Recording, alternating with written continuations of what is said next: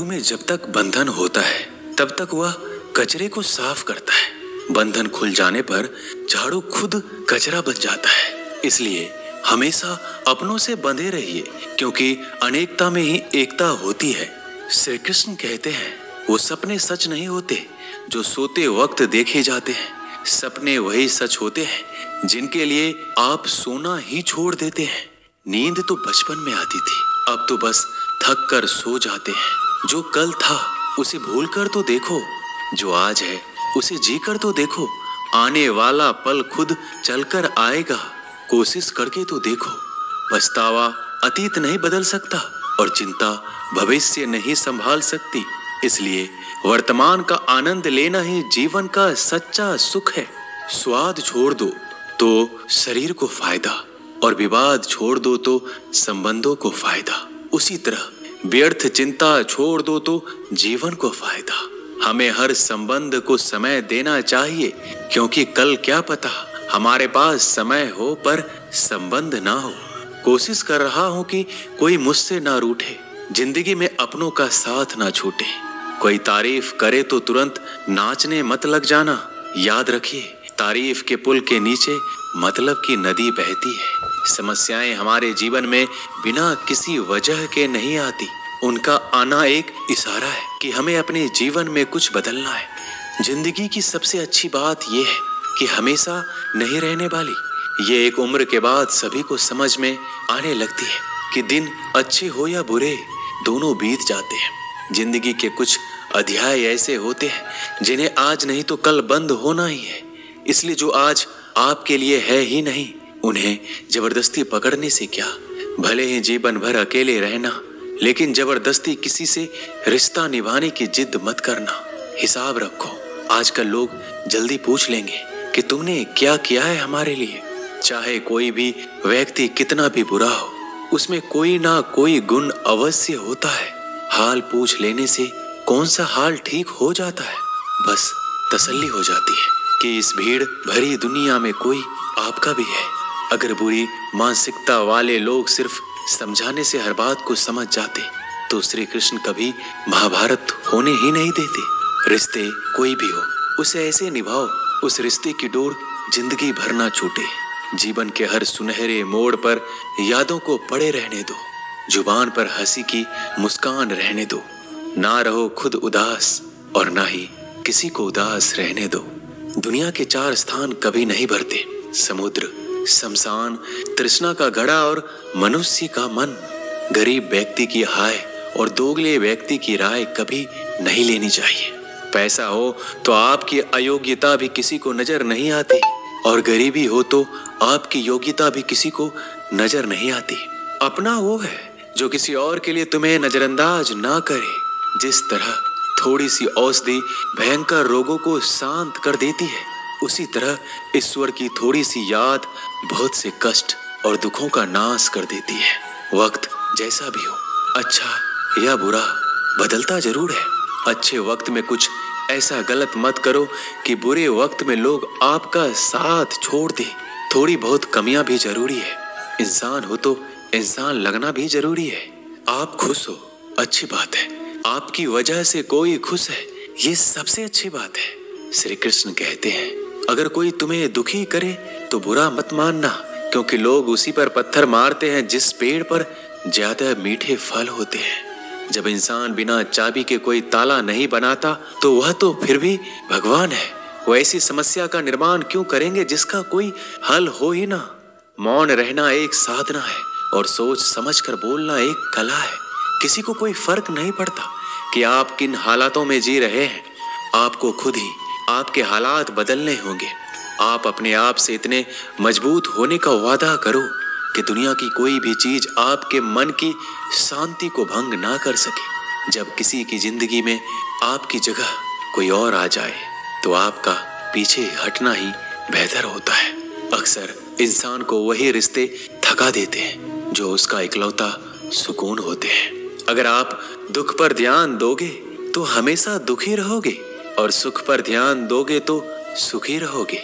आप जिस चीज़ पर ध्यान दोगे, वही चीज़ सक्रिय हो जाएगी और आपके जीवन में तुरंत प्रवेश करना शुरू कर देगी। यही कुदरत का नियम है। हृदय से जो दिया जाता है, वो हाथ से नहीं, मन से जो कहा जाता है, वो शब्द से नहीं। चिंता मत करो, क्योंकि जिसने तुम्हें इस दुनिया में भेजा है, उसे आपकी ज़्यादा चिंता है। संबंधों को समय की नहीं, समझ की भी ज़रूरत होती है। श्री कृष्ण कहते हैं कि तुम इस संसार में किसे खोने के डर से जी रहे हो? जब इस संसार में तुम्हारा कुछ है ही नहीं, चिंता छोड़ो और सो जाओ। परमेश्वर आपकी सभी चिंता और परेशानियों से बहुत बड़ा है। ज़िंदगी जीनी है तो तकलीफ़ तो होगी। मरने के बाद तो जलने का भी एहसास नहीं होता।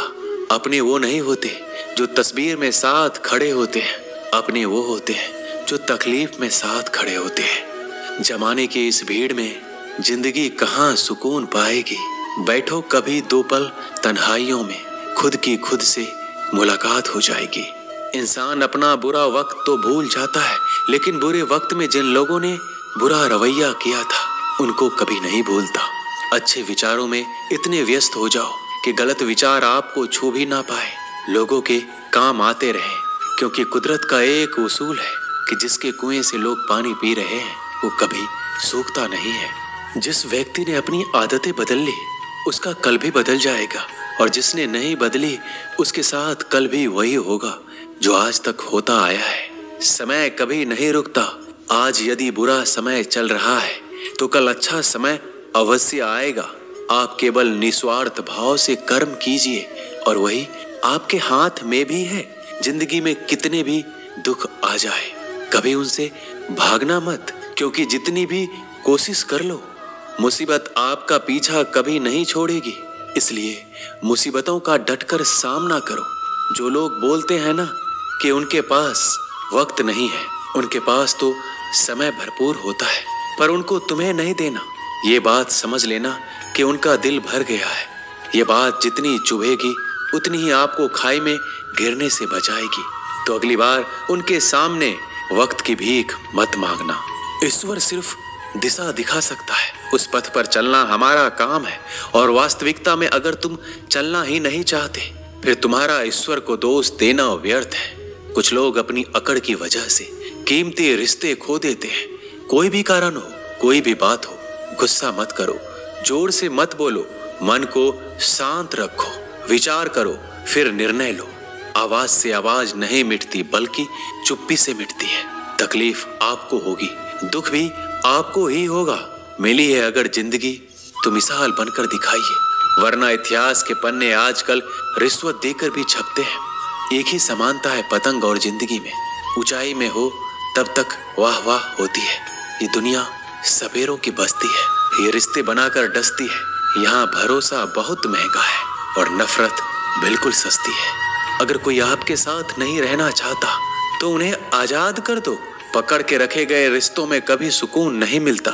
ज़रूरी नहीं कि मीठा खिलाकर ही मुँह मीठा किया जाए। मीठे शब्द बोलकर किसी के जीवन में मिठास घोली जा सकती है। मौन रहकर ही आप जान सकते हैं कि कौन आपका है। ज़िंदगी में आगे बढ़ने के लिए कभी कभी पीछे भी हटना पड़ता है। कद्र और वक्त भी कमाल के होते हैं।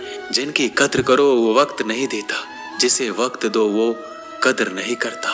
कभी उसको नजरअंदाज ना करो जो तुम्हारी बहुत परवाह करता है, वरना किसी दिन तुम्हें एहसास होगा कि पत्थर जमा करते हुए तुमने हीरा गवा दिया। संभव ना हो तो मना कर दे, पर किसी को अपने लिए इंतज़ार ना करवाएँ।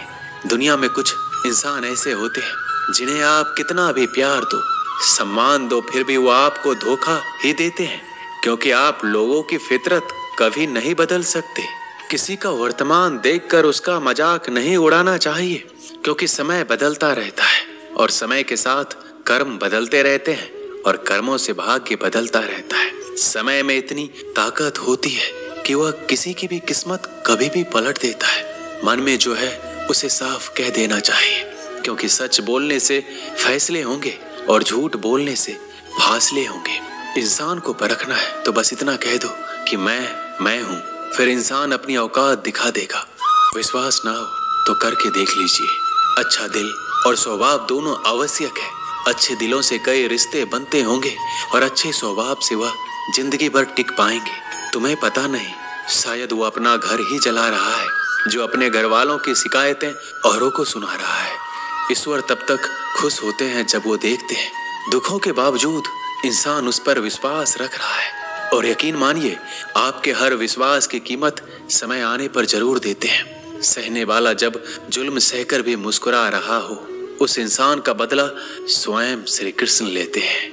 आज के जमाने में किसी को यह महसूस मत होने देना कि आप अंदर से टूटे हुए हैं, क्योंकि लोग टूटे हुए मकान की ईट तक उठा कर ले जाते हैं। लोग अधिक खुशी में नज़र और दुख में नमक ज़रूर लगाते हैं। लोग उपवास सिर्फ़ अन्न का करते हैं, जबकि दिल में जहर, लोभ, लालच, क्रोध, बुरे विचार को पालते हैं। इतने कड़वे मत बनो, कोई चख ना सके, और इतने मीठे भी मत बनो, कि कोई निगल जाए। तरक्की की राह पर उसी का ज़ोर चलता है। बनाकर रास्ता जो भीड़ से अलग चलता है।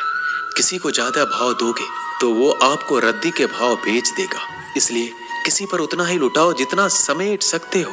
भाग्य भी उसी का साथ देता है, जो पहले खुद अपनी तरफ़ से सफलता प्राप्त करने के लिए कदम बढ़ाता है। कल शीशा था, सब देख कर जाते थे, आज टूट गया, सब बच कर जाते हैं। ये वक्त है साहब, दिन सबके आते हैं। ऐसे लोगों से बचिए, जो आपके मुँह पर तो मीठी बातें करते हैं, लेकिन आपके पीठ पीछे से आपको बर्बाद करने की योजना बनाते हैं। चाह क्या है? बस परिस्थितियों से बना हुआ एक पुतला। खुशियों का कोई रास्ता तय नहीं होता। हर इंसान को अपने लिए खुद ही रास्ता बनाना होता है। ये बात जिसने जान ली, समझो, खुशियों ने उसका पता लिख लिया। जितना त्याग करोगे, उतना प्राप्त करोगे। लोग क्या कहेंगे?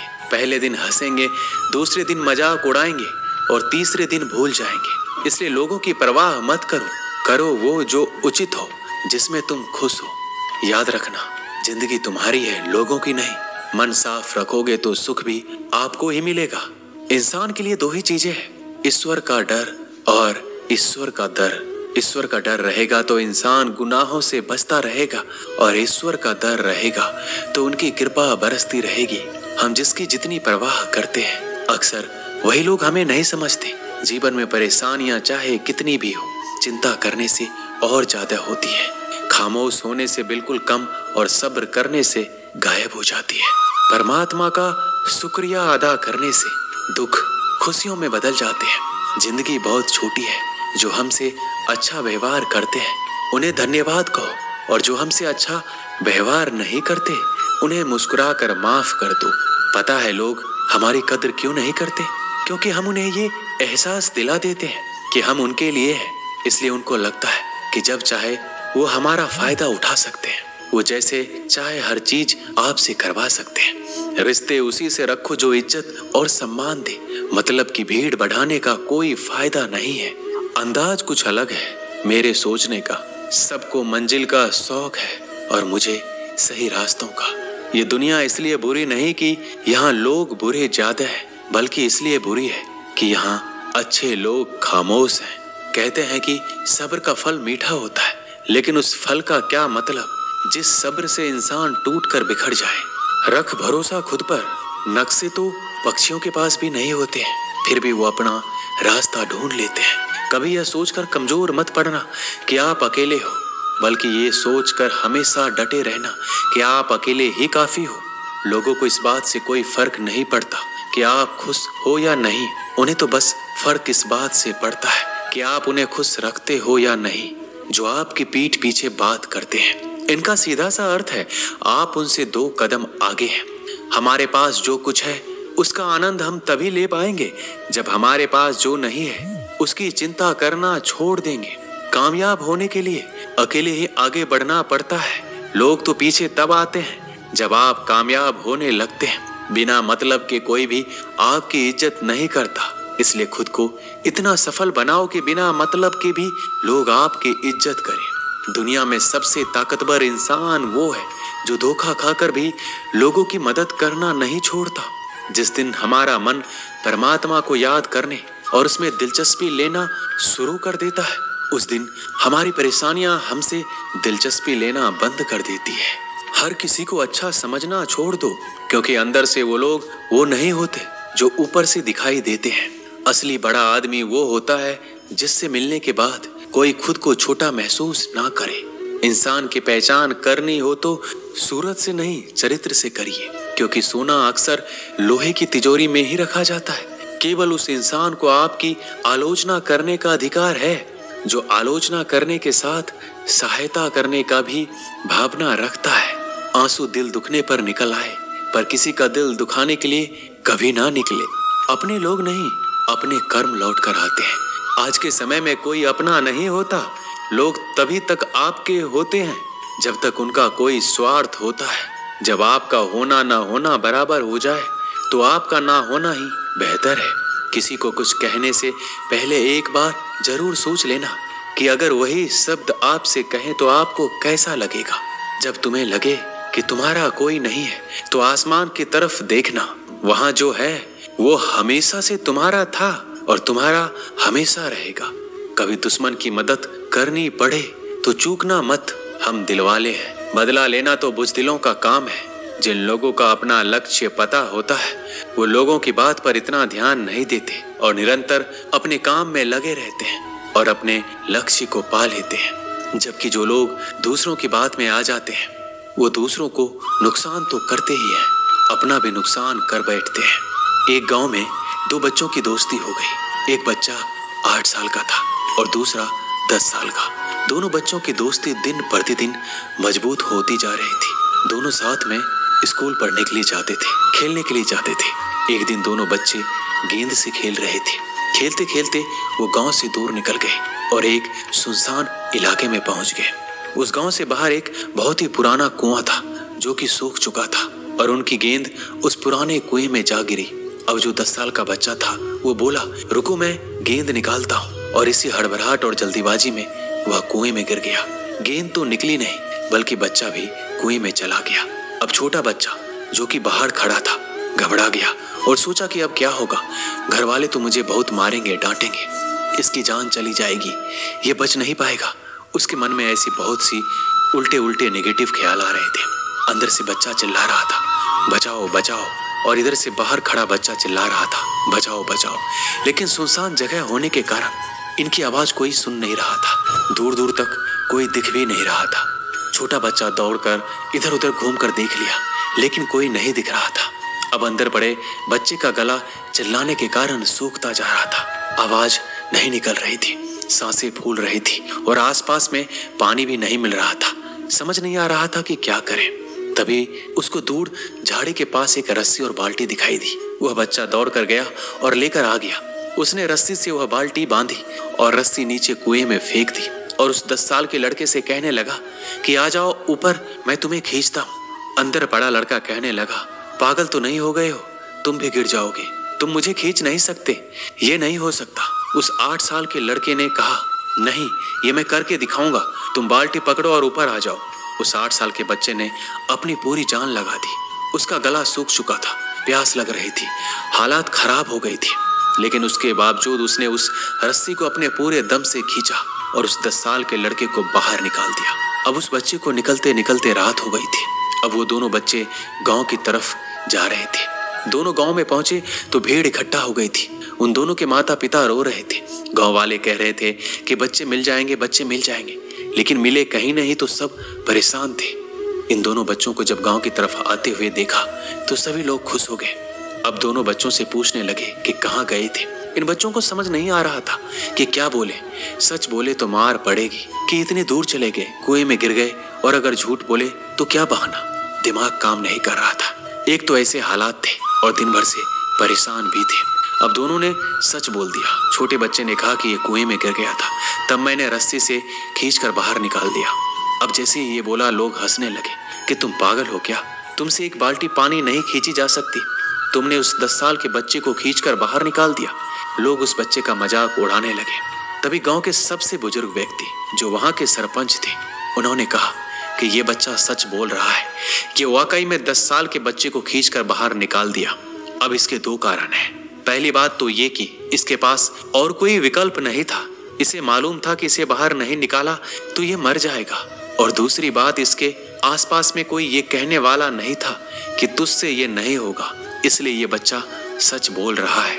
अगर आप जीवन में सक्सेस पाना चाहते हैं तो ये बात याद रखिएगा। पहला आपके पास कोई ऑप्शन नहीं बचा है। आपको उस काम को करके ही दिखाना है। और दूसरा, जब आसपास के लोग कहने लगे कि तुमसे नहीं होगा तो बहरे बन जाओ। उनकी बातों को मत सुनो। दिखाओ करके कुछ ऐसा कि दुनिया करना चाहे आपके जैसा। दोस्तों, इस वीडियो में बस इतना ही। ने साफ़ कहा है कि बस कर्म तुम्हारा कल होगा और कर्म में अगर सच्चाई है तो कर्म कहाँ निष्फल होगा? हर एक संकट का हल होगा, वो आज नहीं तो कल होगा। लोहा जितना तपता है, उतनी ही ताकत भरता है। सोने को जितनी आग लगे, वो उतना प्रखर निखरता है। हीरे पर जितनी धार लगे, वो उतना खूब चमकता है। मिट्टी का बर्तन पकता है, तब धुन पर खूब खनकता है। सूरज जैसा बनना है तो सूरज जितना जलना होगा, नदियों सा आदर पाना है तो पर्वत छोड़ निकलना होगा। और हम आदम के बेटे हैं, क्यों सोचे राह सरल होगा? कुछ ज़्यादा वक्त लगेगा, पर संघर्ष ज़रूर सफल होगा। हर एक संकट का हल होगा, वो आज नहीं तो कल होगा। जो व्यक्ति अपने कार्यों से आशाएँ और इच्छा नहीं रखता, उसी के कार्य पूर्ण होते हैं।